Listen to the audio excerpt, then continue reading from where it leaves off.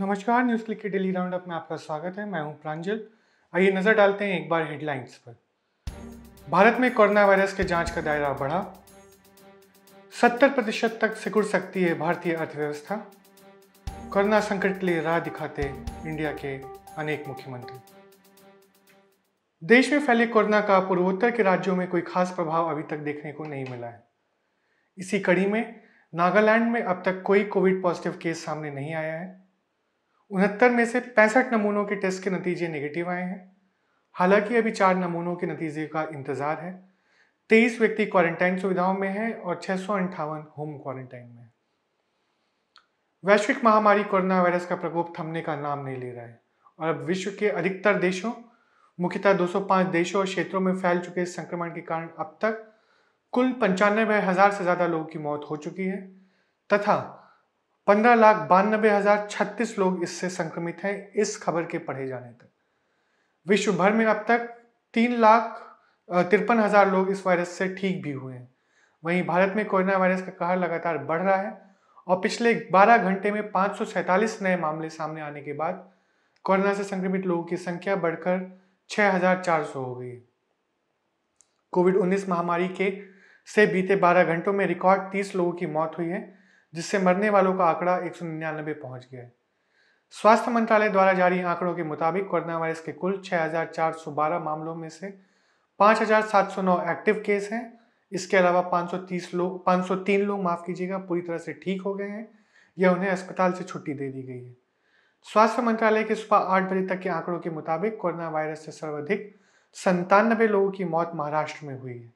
यहाँ अब तक इस महामारी से पीड़ितों की संख्या 1500 से ऊपर। है जवाहरलाल नेहरू विश्वविद्यालय के अर्थशास्त्री और सेवानिवृत्त professor Arun Kumar News Click के साथ साक्षात्कार में बता रहे हैं कि सरकार को आर्थिक उपायों के सर्वाइवल पैकेज के बारे में सोचना होगा क्योंकि केवल प्रोत्साहन पैकेज से ही राजकोषीय घाटा बढ़ेगा। अगर खाद्य दंगों को रोकना है तो कैश डिस्ट्रीब्यूशन से परे सभी आवश्यक वस्तुओं के लिए एक विस्तारित सार्वजनिक वितरण प्रणाली ग्रामीण और शहरी क्षेत्रों में गरीबों के लिए लागू की जानी चाहिए। आइए सुनते हैं उन्हें। देखिए, रिज़र्व बैंक ने जो अपना एनालिसिस दिया है, वो बिल्कुल सही है, क्योंकि ऐसी स्थिति दुनिया में पिछले सौ साल में तो आई नहीं जब से स्पेनिश फ्लू आया था, और हमारी ज़िंदगी में ऐसा कभी जो सामाजिक एक जो संकट है और जो आर्थिक संकट है, वो ऐसा कभी नहीं आया। तो मेरा मानना है कि इस स्थिति है, वो युद्ध से भी ज़्यादा बदतर स्थिति है, क्योंकि अभी क्या हुआ है कि डिमांड तो खत्म हुई है क्योंकि लोगों का रोज़गार खत्म हो गया उत्पादन खत्म हो गया, जो ट्रेड और ट्रांसपोर्ट है, वो बहुत कम हो रहा है। और ये मान के चलिए कि जो सारी अर्थव्यवस्था एक तरह से जो सड़कें खाली दिखती हैं, वही दिख रहा है कि अर्थव्यवस्था एकदम से रुक गई है। और ये सिर्फ़ भारत में ही नहीं, ये दुनिया के बड़े बड़े राष्ट्रों में इस समय ऐसा हो रहा है। तो इसलिए मेरा मानना है कि अभी जो स्थिति है वो युद्ध से भी ज़्यादा बदतर है, जैसे मैंने कहा।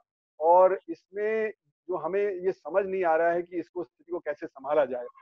इस समय हम स्टिमुलस की बात करते हैं, लेकिन अभी स्टिमुलस काम नहीं करेगा।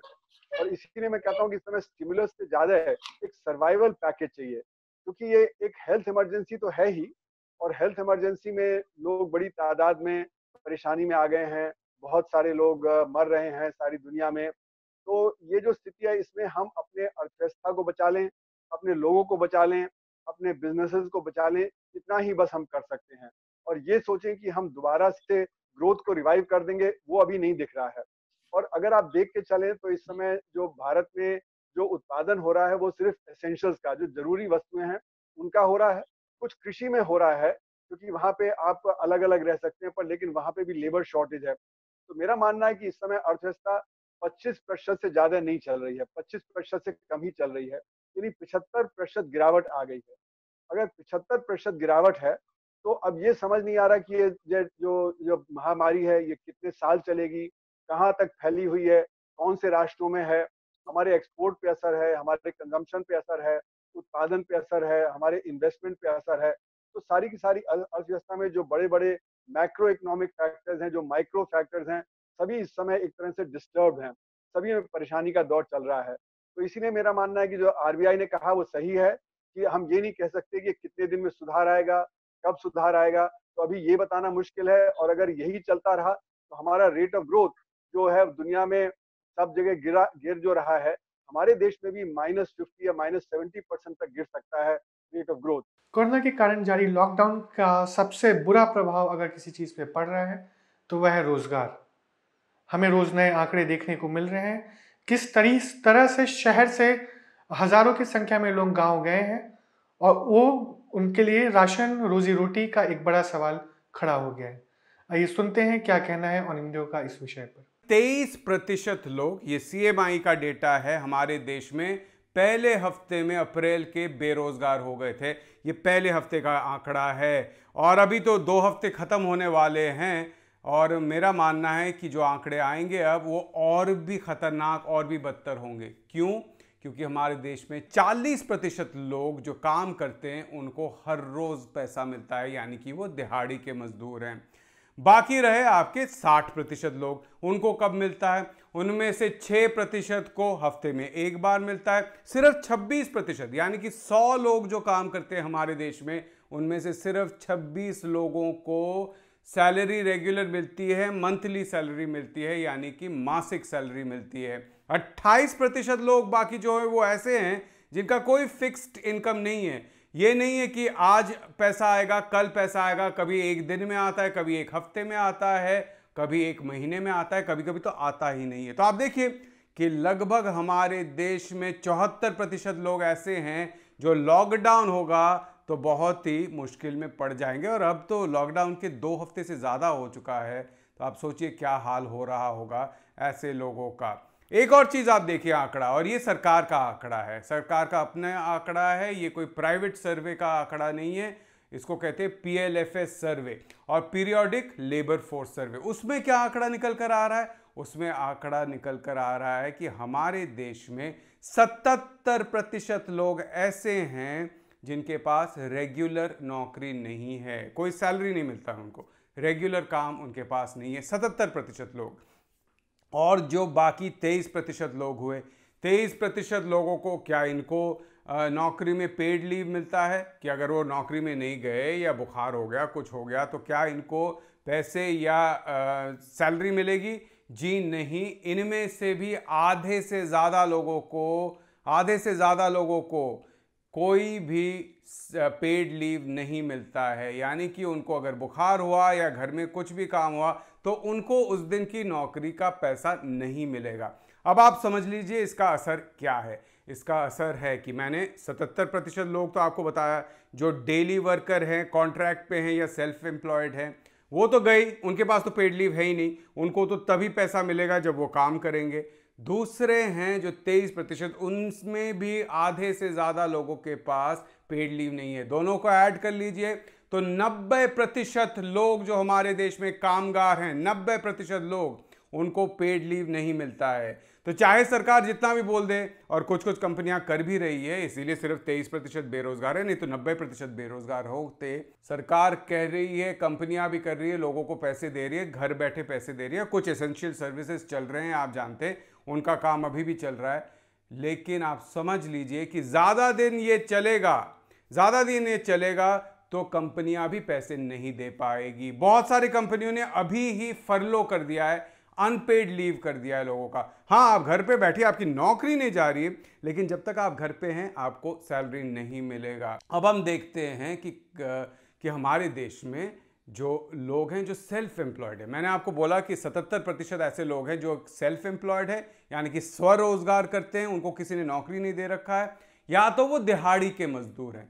ये जो 77 परसेंट है, इसमें से 77 में से लगभग बावन प्रतिशत, यानी कि दो तिहाई से ज़्यादा ऐसे लोग हैं जो सेल्फ एम्प्लॉयड यानी कि स्वरोजगार करते हैं।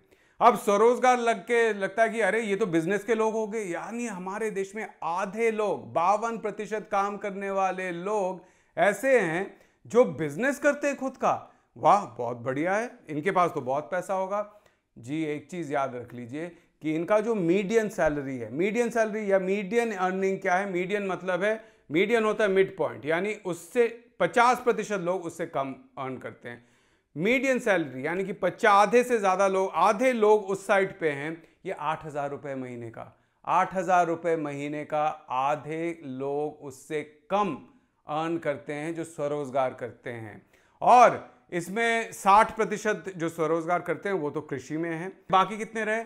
40 प्रतिशत। यानी कि स्वरोजगार करने वालों में से 40 प्रतिशत लोग ऐसे हैं जो कृषि या गैर कृषि चीज़ों में काम करते हैं। अब आप सोच लिए, इनके पास सेविंग हो नहीं सकती।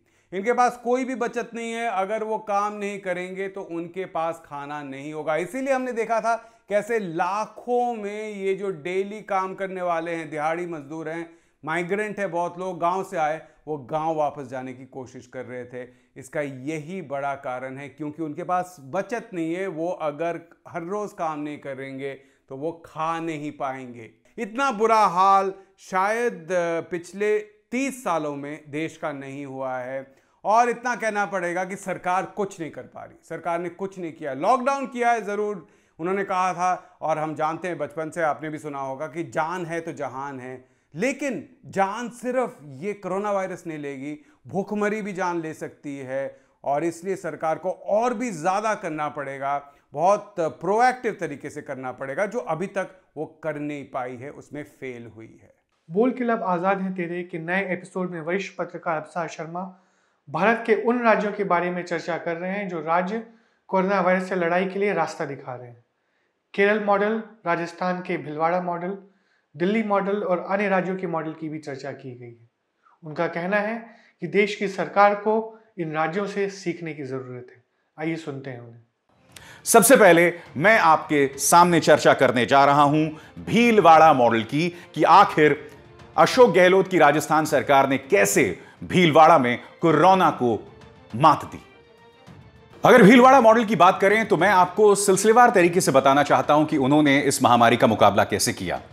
सबसे पहले मैं आपको बताना चाहता हूँ कि 22 मार्च को पहले पॉजिटिव केस आने के बाद जो स्वास्थ्य विभाग था, यानी कि जो जिला प्रशासन था भीलवाड़ा का, उसने 850 टीमें बनाई और लगातार वो हाउस टू हाउस सर्वेस कर रहे थे, यानी कि घर से घर जा रहे थे, दरवाजे से दरवाजे जा रहे थे, और उन्होंने करीब छप्पन हज़ार घरों और दो लाख अस्सी हज़ार नौ सौ सैंतीस लोगों की जाँच की।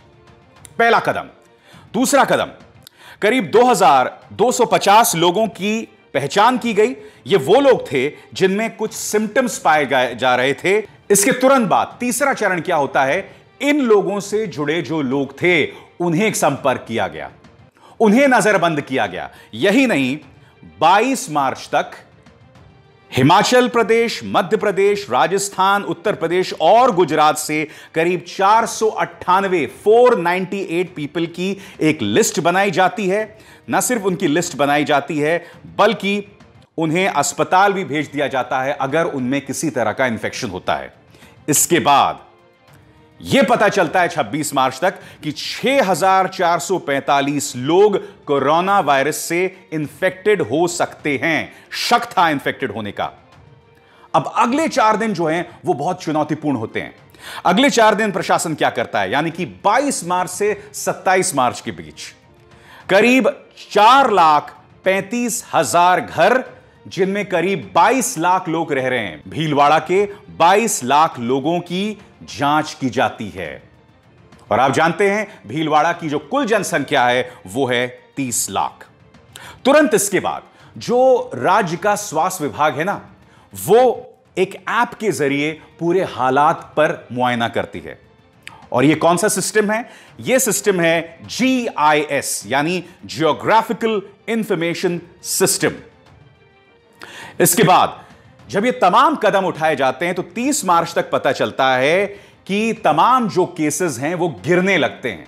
ये सफलता की पहली सीढ़ी है और फिर 31 मार्च तक भीलवाड़ा में एक भी केस सामने उभर कर नहीं आता। और लोगों का इलाज किससे चल रहा होता है इस दौरान? लोगों का इलाज चल रहा होता है और आपके स्क्रीन पर हाइड्रोक्सी क्लोरोक्वीन टैमी फ्लू और एचआईवी ड्रग्स। तीन अप्रैल तक और इसमें से सत्रह लोग जो हैं, वो रिकवर कर जाते हैं। उसके बाद, तीन अप्रैल से इंटेंस कर्फ्यू भीलवाड़ा के कई जिलों में इंटेंस कर्फ्यू लगा दिया जाता है, यानी कि जो ज़रूरी सामान भी है, वो भी नहीं मिल रहा होता। मगर फिर आप सोचेंगे, ऐसे में लोग ज़िंदा कैसे रहेंगे? प्रशासन इस दौरान तमाम जो ज़रूरी सामान, यानी कि दवाइयाँ, खाना, ये लोगों के घरों तक पहुँचाने लगता है। यानी कि प्रशासन अपनी ज़िम्मेदारी नहीं भूलता है। और इसमें पुलिस का एक बहुत बड़ा किरदार है। और 31 मार्च से लेकर अब तक सिर्फ़ एक केस सामने उभर कर आया है और ज़िले में कुल जो मामले हैं वो अब तक सिर्फ़ 27 तक हैं। तो यह था भीलवाड़ा मॉडल की सफलता। अब मैं आपको रूबरू कराने जा रहा हूँ केरल मॉडल से। क्या आप जानते हैं कि केरल इस वक्त देश से दो कदम आगे चल रहा है? वो अभी से इस बात की प्लानिंग कर रहे हैं कि लॉकडाउन किस तरह से हटाया जाए। और उसके लिए इस शख्स पिनरई विजयन ने इस बात की घोषणा की है कि अगर लॉकडाउन खत्म किया जाएगा तो किन तीन चरणों के अंतर्गत खत्म किया जाएगा? तो लॉकडाउन खत्म करने के केरला के तीन चरण। पहले चरण की बात करते हैं। एक ज़िले को 15 अप्रैल से छूट तभी मिलेगी अगर 7 अप्रैल से एक भी मामला सामने नहीं आया हो। दूसरी बात, घर में नजरबंद लोगों के मामले में 10 फ़ीसदी से ज़्यादा बढ़ोतरी नहीं हुई हो। 7 से 15 अप्रैल के बीच कोई भी नया हॉटस्पॉट सामने उभर कर नहीं आया हो। और अगर एक ज़िले में ये तमाम कंडीशंस पूरी होती हैं, तब कुछ और कदम उठाए जाएँगे जो मैं आपको बता रहा हूँ। उसके बाद कुछ और कदम उठाए जाएँगे। फेस मास्क और पहचान पत्र के बगैर कोई बाहर नहीं जाएगा। निजी क्षेत्र दफ्तर में सिर्फ़ 25 फ़ीसदी लोग और उन्हें भी फेस मास्क दिया जाएगा और सैनिटाइज किया जाएगा। एक घर से सिर्फ़ एक व्यक्ति बाहर जा सकता है और वो भी तीन घंटे से ज़्यादा नहीं। पैंसठ साल से ऊपर कोई शख्स बाहर नहीं जाएगा, खासकर जिसे किसी तरह की कोई बीमारी हो और अगर बाहर जाएगा तो उन्हें विशेष पास दिया जाएगा। गाड़ियों के लिए ऑड इवन स्कीम लागू की जाएगी और रविवार को कोई भी गाड़ी, लागू वाहन बाहर नहीं जाएगा। इसके बाद दूसरा चरण आता है। और यह दूसरा चरण किन जिलों पर लागू होता है यह भी देख लीजिए। दूसरे चरण के लिए कोई जिला तभी मान्य होगा अगर डेट ऑफ़ रिव्यू से एक भी मामला सामने नहीं आया हो और इसमें पाबंदियों के साथ बसेस ऑटोज और टैक्सी चल सकेंगी। अब हम बात करते हैं तीसरे चरण की। तीसरे चरण के लिए कौन सा डिस्ट्रिक्ट क्वालिफाई करता है? तीसरे चरण के लिए तभी कोई जिला क्वालिफाई करेगा अगर डेट ऑफ़ रिव्यू से एक भी नया मामला नहीं सामने आया हो और घर में बंद लोगों की तादाद पाँच फ़ीसदी से भी कम हो, अब इन जिलों के लिए क्या क्या सुविधाएँ होंगी वो मैं आपको बताता हूँ। जिलों के बीच बस सेवा बहाल होगी स्थानीय फ्लाइट्स भी बहाल होंगी, मगर सिर्फ़ ज़रूरी यात्रियों के लिए, डॉक्टर्स के लिए, नर्सों के लिए, मरीजों के लिए और केरला में फंसे बाहरी लोगों के लिए। यही नहीं, लोगों को केरला में प्रवेश करने दिया जाएगा, मगर उन्हें घर में चौदह दिन बंद रहना पड़ेगा। आज के डेली राउंड में बस इतना ही। इन सभी खबरों को और विस्तार में जानने के लिए आप जा सकते हैं न्यूज़ क्लिक की वेबसाइट पर। हमें सब्सक्राइब कीजिए यूट्यूब पर, फॉलो कीजिए इंस्टाग्राम, ट्विटर और फेसबुक पर। देखते रहिए न्यूज़ क्लिक धन्यवाद।